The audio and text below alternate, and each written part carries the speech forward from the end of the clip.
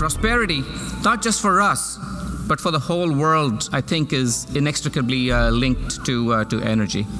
Without sufficient energy, everybody's standard of living starts to decline. Abundant and sustainable energy is probably the solution to a lot of our problems. With energy, all the other problems can be solved. Without it, everything begins to fall apart. But all these lights and power come at a steep price.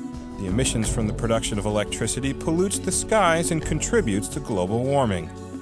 Today, power generation currently accounts for 40% of the U.S.'s carbon footprint.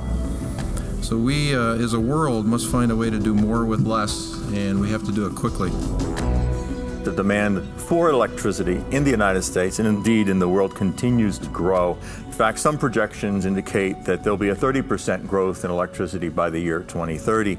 And so the focus of the question becomes what do we need to do from a technology perspective to meet that growing demand for electricity and do it in a way that we don't make a, a greater carbon footprint?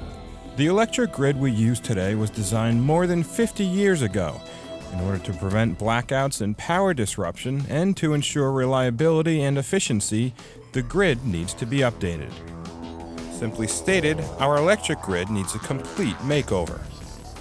I'd say the future for the grid is that we need to make it modern, uh, up to date, and smart. Well, our current electricity grid actually could give us more production. We could use the generate the, the electricity we generate today in a smarter way. Hence the name Smart Grid.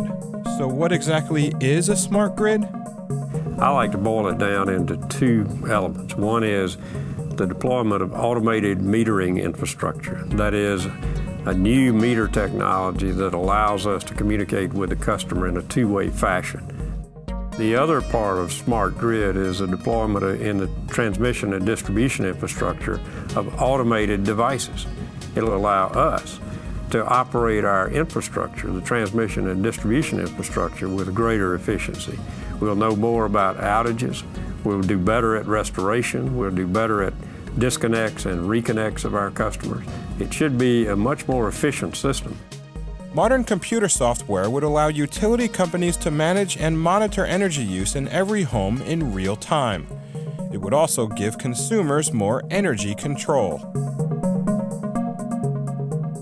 Well, in the smart grid world, a customer will have the opportunity, number one, to understand his energy usage, to make decisions about how much he uses, when he uses it, and what he pays for electricity use. For instance, if the price of power exceeds a certain price, then maybe I don't want to recharge my plug-in vehicle, or if the or I don't want to run my dishwasher.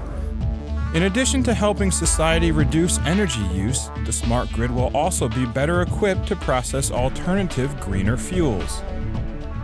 And if expanded, it could take advantage of energy sources which are currently inaccessible to most of this country.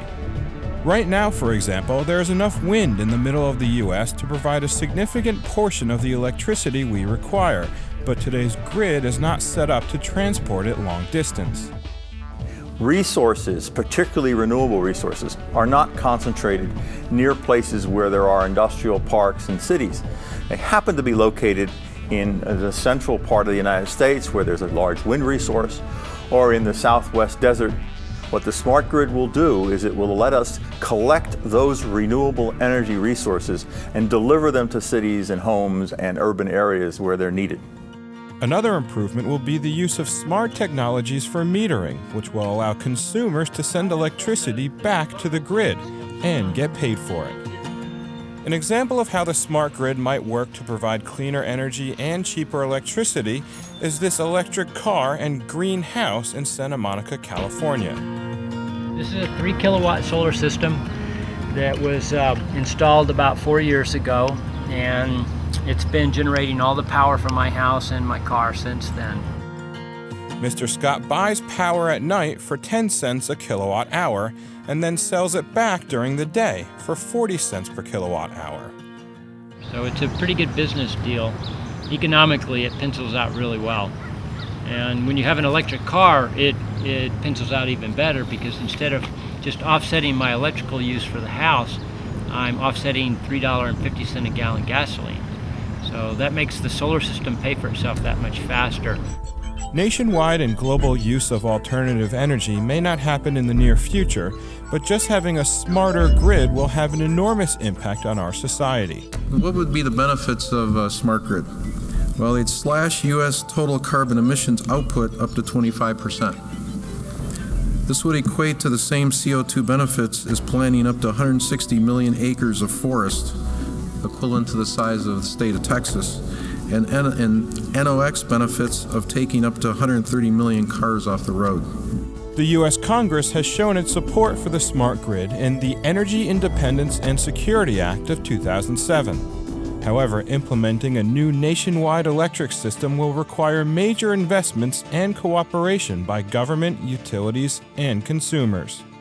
I believe that we will have by 2030 the capability to communicate in, with our customer base at levels unsurpassed and to understand usage patterns and to plan our system and to operate our system at new levels of efficiency.